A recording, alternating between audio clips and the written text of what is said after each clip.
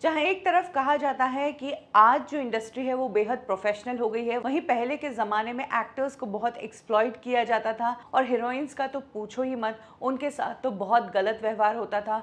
उन्हें प्रोफेशनली काफ़ी टॉर्चर किया जाता था। यह खुलासा किया है मंदाकिनी ने। राम तेरी गंगा मैली फेम एक्ट्रेस ने बताया कि कैसे प्रोड्यूसर्स ना सिर्फ़ उन्हें पैसे कम देते थे, बल्कि एक ही फ़िल्म को लेकर दो तीन हीरोइंस का नाम जो है अनाउंस कर दिया करते थे।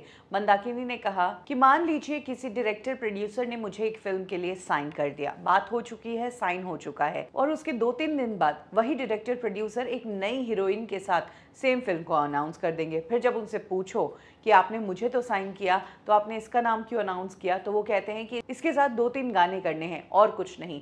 एक्चुअली प्रोड्यूसर्स ऐसा इसलिए करते थे क्योंकि दोनों तीनों हीरोइन में से जो कम पैसे में मानेगी, उसे ही फ़िल्म में कास्ट किया जाएगा। यानी कि ऑप्शंस तैयार रखते थे कि ये नहीं तो वो वो नहीं तो वो कोई और तो करेगी ही। कैरेक्टर के हिसाब से या एक्टिंग के हिसाब से एक्ट्रेसेस को नहीं लिया जाता था। कौन कितने कम पैसे में काम करेगी, कौन कितने कम सवाल पूछेगी, उसके साथ काम किया जाता था। मंदाकिनी ने कहा कि उस दौरान हीरोइनों को एक फ़िल्म के लिए एक से डेढ़ लाख से ज़्यादा नहीं मिला करते थे। और जब किसी डायरेक्टर को इससे कम में हीरोइन मिल जाती थी तो वो मंदाकिनी को रिप्लेस करके कम पैसा चार्ज करने वाली हीरोइन को ले लिया करते थे।